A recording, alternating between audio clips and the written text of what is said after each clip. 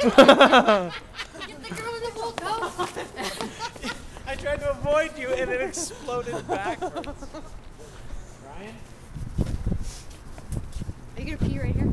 No. Oh, Will you stop that way? I'm gonna have to record it. I told you. Can I um have a cigarette? Yeah, absolutely. Would you like to take over my audio duties while I do the wedding? Yeah, well, here. Boom! Yeah. Boom, Look at that. boom. Look at what? It's pretty ugly, isn't it? Yeah. It's quite bright. Yeah. We're losing uh, Ryan and Tom here. We need to hit out. They're stopping here, maybe? Water bottle.